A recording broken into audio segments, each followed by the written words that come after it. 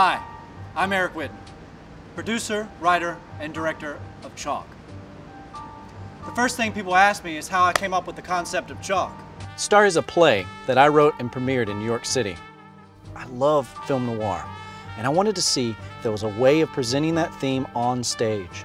The first thing that came to my head was a chalk outline of a body. Then I asked myself, what if this outline wasn't an outline? I realized very quickly this needed to be a film. Now what's so exciting about this is that we're creating a whole new world that's never been seen. Our location? Chalk City. Chalk City's seen better days. Its celebrated mayor murdered, a serial killer on the loose. And the old blackboards are being torn down and replaced by shiny white ones, making way for drier times. The idea of dry erase boards taking over Chalk City came from my own observations of gentrification here in New York.